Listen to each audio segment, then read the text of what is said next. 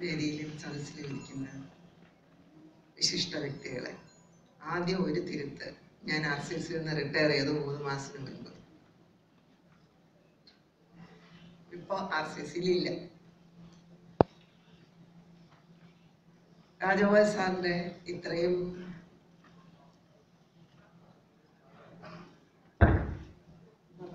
സാറിന്റെ ഒരു എക്സ്പീരിയൻസിൽ നിന്നും സാറ് പറഞ്ഞ ഹൃദയത്തിൽ തട്ടുന്ന വാക്കുകൾ കഴിഞ്ഞിട്ട് ഞാൻ എന്താ പറയാന്ന് എനിക്കറിയില്ല. എന്നാലും സ്വലേസിനെ കുറിച്ച് പറയുകയാണെങ്കിൽ സാറ് സൂചിപ്പിച്ച പോലെ അല്ലെങ്കിൽ ഇവിടെ ഇരിക്കുന്ന എല്ലാവർക്കും അറിയാവുന്നത് പോലെ സ്വന്തം വേദനയെ എങ്ങനെ മറ്റുള്ളവർക്കൊരു ആശ്വാസം കൊടുക്കാം എന്നുള്ള രീതിയിൽ പ്രവർത്തിച്ച ഷീബ അമീറിനെ കുറിച്ച് എന്ത് പറയണം എന്ന് എനിക്കറിയില്ല. എന്ത് പറഞ്ഞാലും അത് ഒന്നും ആവില്ല എന്ന് എനിക്കറിയാം എങ്കിലും എന്റെ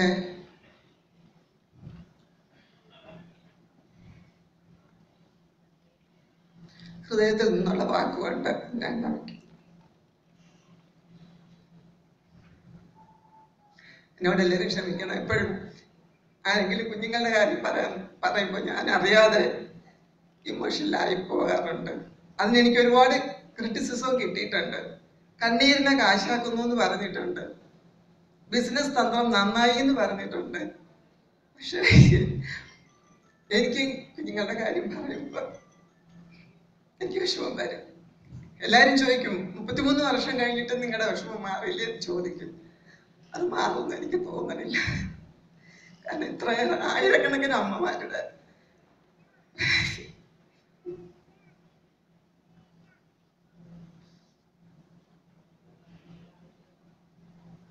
അമ്മമാരുടെ വേദന നമ്മൾ കണ്ടിട്ടുള്ളതാണ്.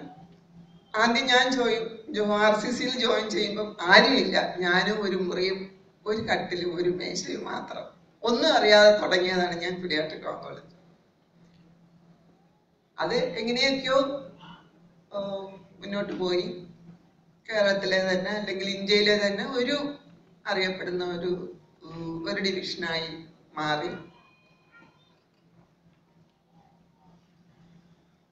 സാറ് സൂചിപ്പിച്ച പോലെ ഒരുപാട് കാര്യങ്ങൾ നമുക്ക് കുട്ടികൾക്ക് വേണ്ടി ചെയ്യാൻ കഴിയും. കുറേയൊക്കെ ഞങ്ങൾ ചെയ്യുന്നുമുണ്ട്. ഞങ്ങൾ പലപ്പോഴും പാരൻസിനെ വിളിച്ചിരുത്തി സംസാരിക്കാറുണ്ട്. പക്ഷെ പലപ്പോഴും പാരൻസ് ഞങ്ങളോട് പറയും. ഞങ്ങളുടെ മക്കളോട് പറയല്ലേ പറയല്ലേ അവരിത് അറിയരുത് എന്ന് പറയും. പക്ഷെ കുറച്ച് സാറ് പറഞ്ഞതുപോലെ കുറച്ച് കഴിയുമ്പോൾ കുട്ടികൾക്ക് മനസ്സിലാവും ക്യാൻസർ എന്ന് എഴുതി വെച്ചിരിക്കുന്നു. അവർക്ക് വായിക്കാൻ പറ്റും അവർക്കറിയും. പക്ഷെ പലരും നമ്മളോട് ചോദിക്കില്ല. നമ്മൾ തിരിച്ചങ്ങോട്ട് മോനെ അസുഖത്തിനെ കുറിച്ച് അറിയണോ അല്ലെങ്കിൽ മോളെ അസുഖത്തിനെ കുറിച്ച് അറിയണോ എന്ന് ചോദിച്ചാലും ചില കുട്ടി വളരെ കുറച്ച് കുട്ടികൾ മാത്രമേ ചോദിക്കുകയുള്ളൂ പാരന്റ്സിന്റെ മുമ്പ് അഥവാ കുട്ടികൾ ചോദിക്കാൻ തുടങ്ങിയാൽ പാരന്റ്സ് ഒരിക്കലും കുഞ്ഞുങ്ങളെ നമ്മളോട് സംസാരിക്കാൻ സമ്മതിക്കില്ല. നീ ചുമ്മാ ഇരിയെടാ. അതായത് ഡോക്ടേഴ്സിനോട് കുട്ടികൾ ചോദിക്കുന്നത് തെറ്റാണെന്ന് പാരന്റ്സ് തന്നെ അവരോട് പറഞ്ഞു കൊടുക്കും. പക്ഷെ ഞങ്ങൾ പലപ്പോഴും ഒരു ഞങ്ങളാൽ കഴിയുന്ന രീതിയിൽ കുഞ്ഞുങ്ങളെ നമ്മൾ ഞങ്ങൾ അവരെ എന്റർടൈൻ ചെയ്യാറുണ്ട്. അവരുടെ സംശയങ്ങൾ ദൂരീകരിച്ച് കൊടുക്കാറുണ്ട്. പാരൻസിനും കുറേയേറെ. പക്ഷെ എന്തായാലും ഒരു തിരക്കുള്ള ഒ പിയിൽ പലപ്പോഴും നമുക്ക് അവർക്ക് വേണ്ടുന്ന സമയം ഒരുപാട് കൊടുക്കാൻ പറ്റിയില്ലെങ്കിലും ഞങ്ങളെ കൊണ്ട് കഴിയുന്ന രീതിയിൽ ഞങ്ങൾ പാരൻസിനാണെങ്കിലും കുഞ്ഞുങ്ങൾക്കാണെങ്കിലും ഉള്ള സഹായങ്ങൾ എല്ലാ വിധത്തിലുള്ള സഹായം ചെയ്ത് കൊടുക്കാൻ ശ്രമിക്കാറുണ്ട്. ആദ്യമൊക്കെ വളരെ വളരെ പ്രയാസമുള്ള ഒരു ഘട്ടത്തിൽ കൂടി തന്നെയാണ് കടന്നു പോയിരുന്നത് ഞാൻ എന്റെ വീട്ടിൽ പോയി ഞാൻ എന്റെ ഹസ്ബൻഡിനോട് പറഞ്ഞു എനിക്ക് പണി പറ്റത്തില്ല. എനിക്ക് പീഡിയാട്രിസം കൊണ്ട് എനിക്ക് എവിടെ നിന്നാലും എനിക്ക് ജീവിച്ചു പോകാം. എന്നെ കൊണ്ട് ഈ ജോലിക്ക് കഴിയില്ല എന്നെ എന്ന് പറഞ്ഞിട്ടുണ്ട്. അന്നേരം അദ്ദേഹമാണ് എനിക്ക് എല്ലാ സപ്പോർട്ടും തന്നത്. അപ്പൊ പുള്ളി ചോദിച്ച ഒരു ചോദ്യമാണ്. പണം ഉള്ളവർക്ക് അവരുടെ കുട്ടിയെ കൊണ്ട് വേറെ ഏതെങ്കിലും ഹോസ്പിറ്റലിൽ പോവാം. ടാറ്റ മെമ്മോറിയലിലോ വെല്ലൂരിലോ എല്ലാം പോവും. പണം ഇല്ലാത്ത പാരന്റ്സ് ആ കുഞ്ഞുങ്ങളെ തൂക്കിയെടുത്ത് എവിടെ കൊണ്ടുപോകും എന്ന് എന്നോട് ചോദിച്ചു. ഞാൻ ഞാൻ പറഞ്ഞു എനിക്കൊന്നും അറിയത്തില്ല എന്ന് പറഞ്ഞു. പുള്ളി പറഞ്ഞു നീ ക്യൂറിനെ കുറിച്ച് നീ ഇപ്പൊ ചിന്തിക്കണ്ട. നീ കെയർ കൊടുക്ക ആ കുട്ടികൾക്ക്. ഒരു അമ്മയും അച്ഛനും ഒരു കുഞ്ഞിനെയും കൊണ്ട് നിന്റെ അടുത്ത് വരുമ്പോൾ അറ്റ്ലീസ്റ്റ് യു കെയർ ക്യൂർ പലപ്പോഴും പാരൻസിന് അത്രയും ഇല്ലെങ്കിലും അവർക്ക് അവസാന കാലം വരെ ആ കുഞ്ഞിനെ ഒരു ഡോക്ടർ ശുശ്രൂഷിച്ചു എന്നൊരു തോന്നൽ നിനക്ക് കൊടുക്കാൻ പറ്റില്ലേ? അത് ആരെങ്കിലും കൊടുക്കണമെന്നുണ്ടെങ്കിൽ അത് എന്തുകൊണ്ട് നിനക്കായിക്കൂടാ എന്ന് ഉള്ള അദ്ദേഹത്തിന്റെ ഒരു വളരെ ഒരു സപ്പോർട്ട് കൊണ്ട് മാത്രമാണ് അത്രയും കാലം ഞാൻ ഞാൻ അത് കണ്ടിന്യൂ ചെയ്യാം എന്ന് വിചാരിച്ചത്.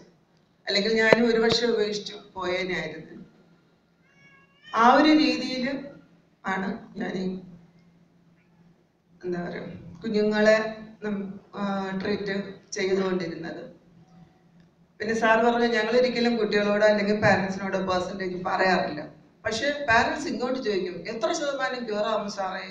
നമ്മൾ പറയും ക്യൂർ ഈ ശതമാനം എന്ന് പറയുന്നത് എപ്പോഴും ഒരു നൂറ് കുട്ടികളെ നമ്മൾ ചികിത്സിക്കുന്നതിൽ എത്ര പേർക്കെന്നുള്ളതാണ്. ഒരു കുഞ്ഞിനെ സംബന്ധിച്ച് നിങ്ങൾ അങ്ങനെ ചിന്തിക്കേണ്ട. നമ്മൾ ഏതായാലും ചികിത്സിക്കാൻ തീരുമാനിച്ചില്ലേ? നമുക്ക് നന്നായിട്ട് വരും എന്ന് പറഞ്ഞ് തന്നെ ചികിത്സിക്കുക. നിങ്ങൾക്ക് ആ ഒരു വിശ്വാസത്തോടു കൂടി നമുക്ക് മുന്നോട്ട് പോകാം. അങ്ങനെ ആ രീതിയിൽ എന്നാലും ചോദിക്കും എന്നാലും എത്ര ശതമാനം സാറേ? എന്നാലും ഇങ്ങനെ പാരൻസ് പലപ്പോഴും ചോദിച്ചുകൊണ്ടിരിക്കും പിന്നെ അതനുസരിച്ച് ഓരോരുത്തരുടെ രീതി അനുസരിച്ച് ഞങ്ങൾ അതനുസരിച്ചിട്ടുള്ള മറുപടി പറയും. കുട്ടികൾക്കാണെങ്കിൽ നമ്മളിപ്പം അമ്മമാര് പറയും ക്യാൻസർ എന്നുള്ള ഒരു വാക്ക് പറയരുതെന്ന് പറയും. നമ്മൾ മിക്കവാറും കുട്ടികളിൽ ഏറ്റവും കൂടുതൽ കാണുന്നത് ബ്ലഡ് ക്യാൻസർ ആണ്. അപ്പൊ നമ്മൾ പറയും ഇങ്ങനെ രക്തം ഉണ്ടാവുന്ന മജ്ജയ്ക്ക് ഒരു കുറച്ച് പ്രശ്നങ്ങൾ ഉണ്ടായിട്ടുണ്ട്. അതിന് നമുക്കിങ്ങനെ ചികിത്സ വേണം. ചികിത്സ എടുക്കുമ്പോൾ തലമുടി കൊഴിയാൻ സാധ്യതയുണ്ട്. ആഹാരം കഴിക്കാൻ കുറച്ച് ബുദ്ധിമുട്ട് വരും. ഇങ്ങനെയല്ല അങ്ങനെയുള്ള അമ്മയുടെ അച്ഛന്റെയും എന്താ അഭിപ്രായം മാനിച്ച് ക്യാൻസർ എന്നുള്ള വാക്ക് നമ്മൾ ചിലപ്പോൾ ഉപയോഗിച്ചില്ല എന്നിരിക്കും ബാക്കി ഉള്ള കാര്യങ്ങൾ നമ്മൾ മിക്കവാറും കുട്ടികൾക്ക് നമ്മൾ പറഞ്ഞു കൊടുക്കാൻ ശ്രമിക്കാറുണ്ട്. അവർക്ക് എത്രത്തോളം മനസ്സിലാവുന്നു എന്ന് നമുക്കറിയില്ല. പക്ഷെ ഞങ്ങൾ അത് പറഞ്ഞു കൊടുക്കാൻ ശീലി ശ്രമിക്കാറുണ്ട്. അപ്പോ അത് അങ്ങനെ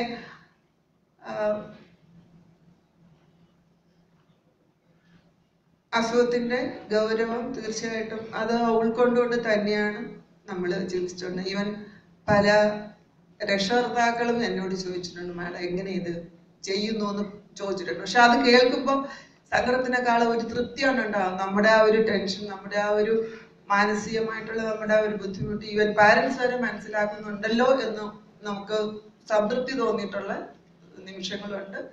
ഓഫ് കോഴ്സ് ക്യൂറായി പോയി കഴിയുമ്പോൾ നമുക്ക് അതിന്റെതായിട്ടുള്ള സന്തോഷമുണ്ട്. പക്ഷേ ആ ക്യൂറ് ഉണ്ടാകുന്നത് ഒരിക്കലും എന്റെ ഒരു കഴിവായിട്ടോ മെഡിസിന്റെ കഴിവായിട്ടോ ഞാനൊരിക്കലും എടുത്തിട്ടില്ല.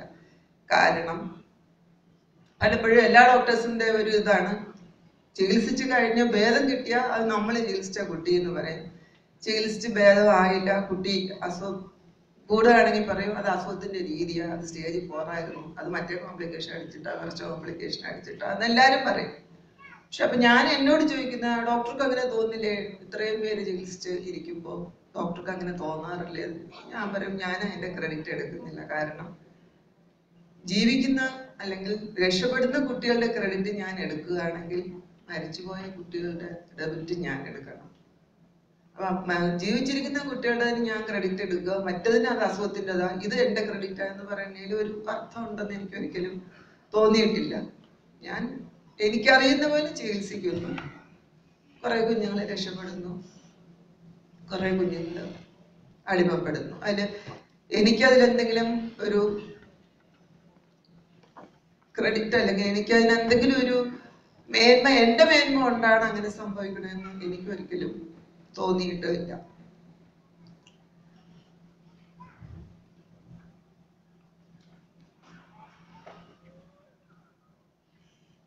ഞാൻ എന്റെ വാക്കുകൾ അധികം നീട്ടുന്നില്ല.